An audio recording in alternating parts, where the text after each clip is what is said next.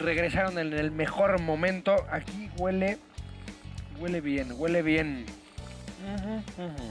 Qué delicia.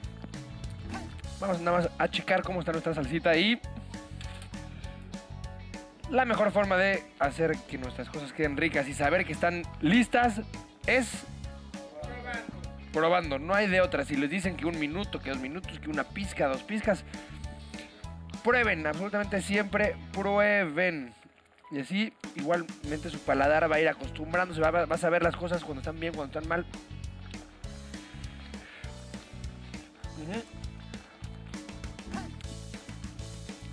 Mm. Mm. Ahora sí no le falta, pero nada. Bueno, tantita pimienta a lo mejor. Ya lo voy a dejar.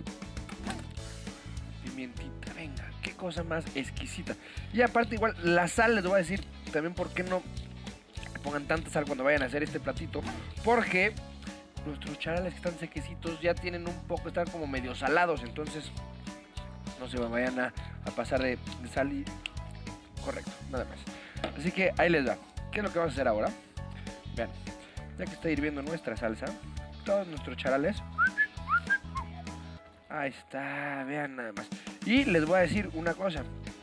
Hay, pues bueno, varios tipos, pero dos muy importantes. Unos secos como estos, que se dejan secar.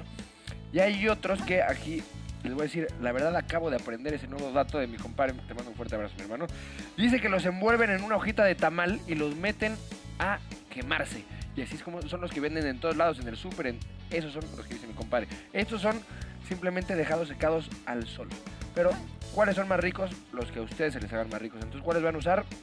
Los que encuentren primero, los que tengan allá a la mano. Lo mismo. Mm, mm, mm. Vean nada más, esto ya quedó listo. Ya está. Entonces los vamos a dejar ahí. Que sean aguaditos.